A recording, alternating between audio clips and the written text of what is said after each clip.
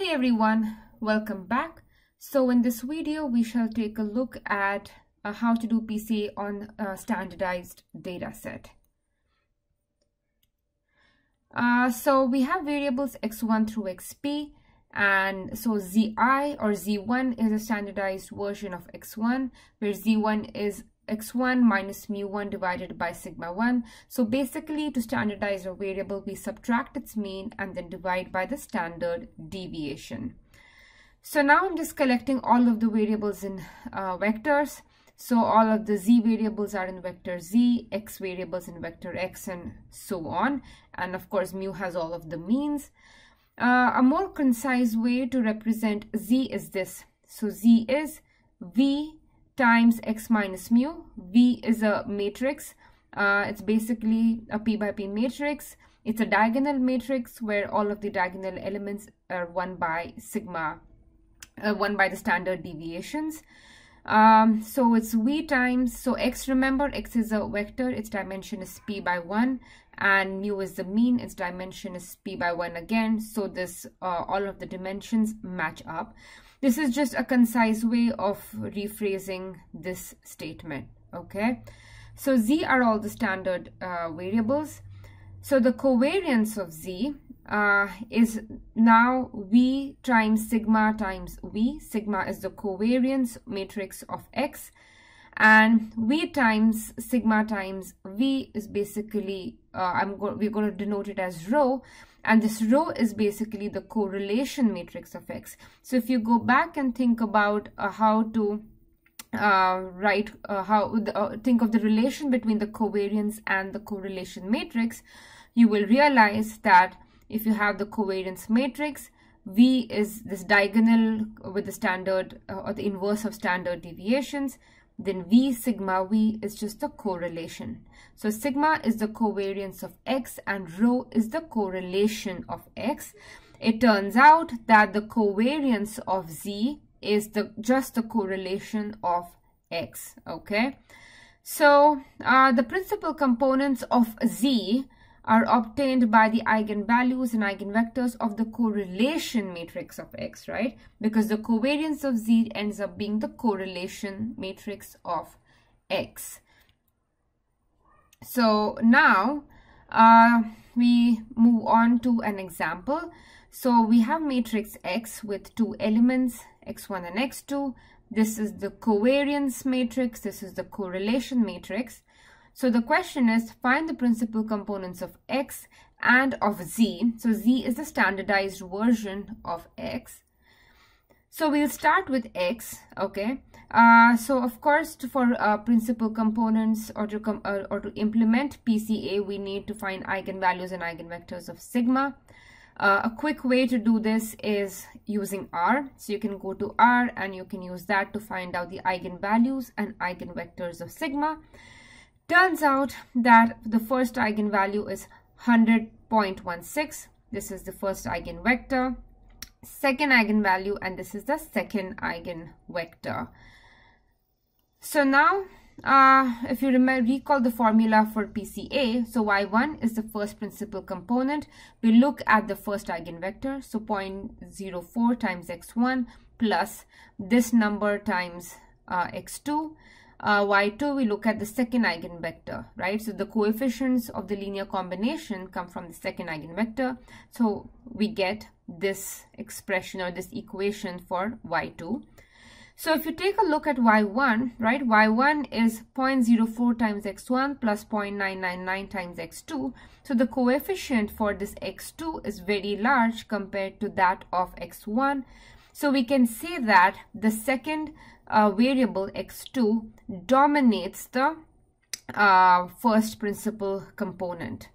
Uh, and moreover, uh, if you look at the proportion of variance of the first principal component, right, which is 100.16 divided by 100.16 plus 0.84, it turns out that the first PC uh, um, explains 92 sorry 99.2% of the total variance. And this is mainly because the variance of x2 is really large right? So x2 dominates this first principal component uh, because it's uh, it has a really large variance. And the first principal component explains most of the variance okay? So keep that in mind. And now we will proceed to calculate the uh, principal components of z. So remember for z we need to look at eigenvalues and eigenvectors of the correlation matrix which is this. And if you uh, i just calculated this using r. So once we have the eigenvalues and eigenvectors we can write the principal components. So y1 excuse me is the first principal components 0.707 times z1 right? Because our variables are now z1 and z2 so we're looking at their linear combination plus 0.707 times z2 the second principal component y2 is this guy times z1 uh, minus or plus this negative value times z2 so we get this. So remember z1 is a standardized version uh, of x1 so I can write this right? So z1 is just x1 minus mu1 by sigma 1 so I can write these principal components in terms of variable x and now if I look at this proportion of variance explained by the first principal component it turns out that it is 70 percent. Again remember uh, first uh, so this so 1.4 divided by 1.4 plus 0.6 right? So this is the total variation and 1.4 is the variance of the first principal component. Uh, and also if you look at this the contribution of both the variables is more balanced okay so to summarize, uh, if your data or if your variables have largely different scales, then you want to go for standardization. So we, we first want to standardize the data set and then do the principal component analysis. And it turns out that doing um, this or the standardization is basically you instead of the covariance matrix of the data, you just look at the correlation matrix and do the same thing, okay? Uh, it's important to know that standardization changes our results. So it's important whether you choose or not to standardize because in each case you will get a different uh, solution. So here is a question. So in this, in the example that I presented, I had standardized the data set. So I had centered and divided by the standard deviation. What hap what would happen if we only center the data? Right? So I am not uh, dividing by the standard deviation. I'm only subtracting the mean.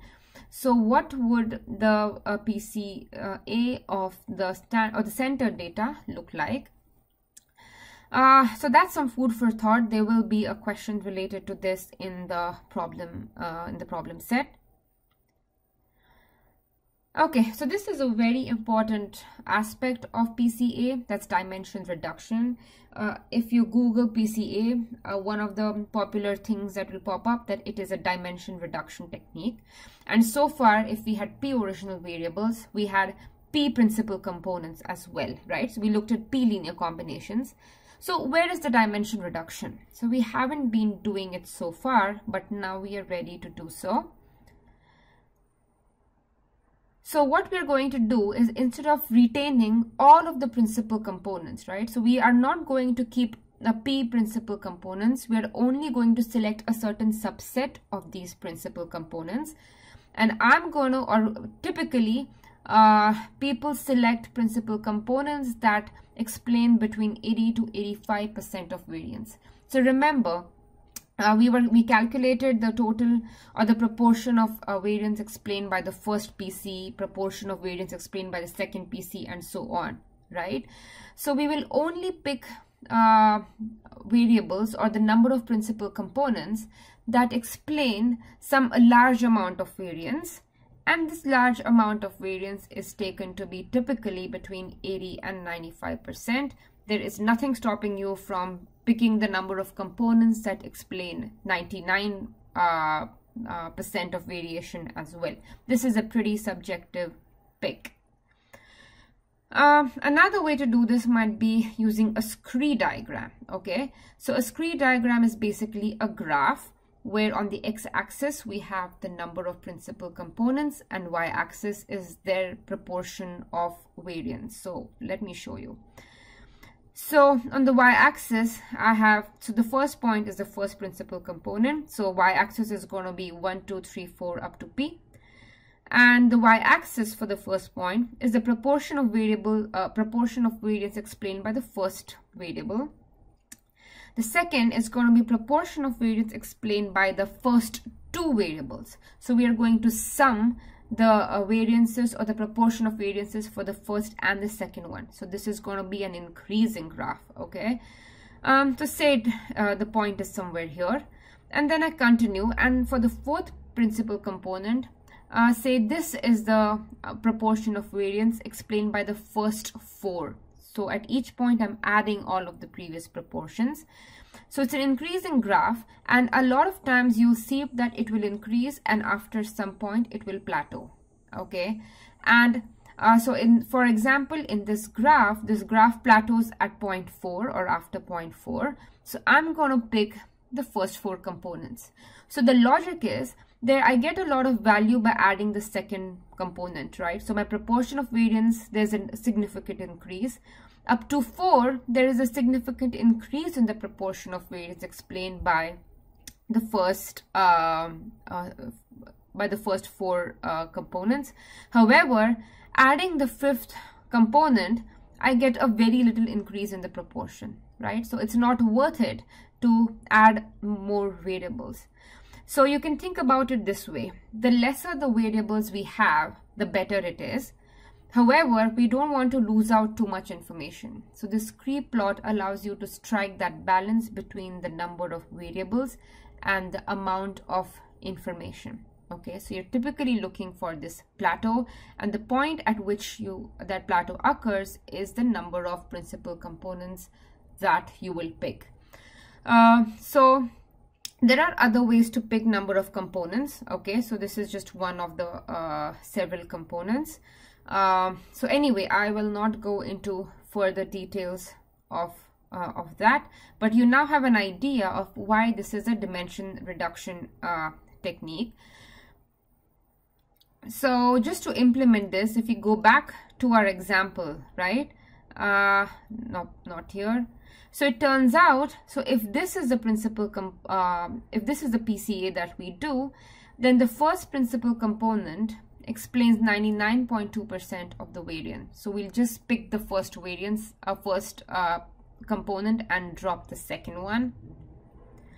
In this case, uh, in the standardized version, the first principal component accounts for 70% of the variation, right? So now it's not so clear, right? If you think 70% is enough, you'll just keep the first one.